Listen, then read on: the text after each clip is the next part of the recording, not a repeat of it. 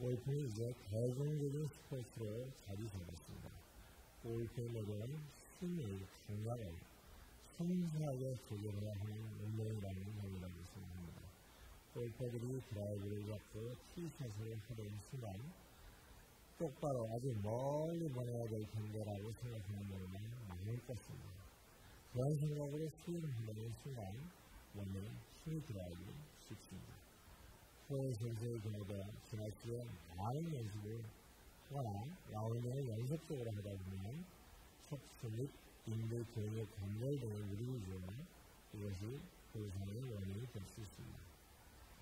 허은은 평소 목이나 허리에 문제가 있어 가끔씩 아프던 주말 골퍼들이 안정되지 못하는 자세로 힘껏 드라이브 스윙을 하다 보면 부상이 생길 수 있습니다. 특히 과도한 긴장과 함께 척추 비틀림이 반복되다 보면 척추 승리할 수도 있습니다.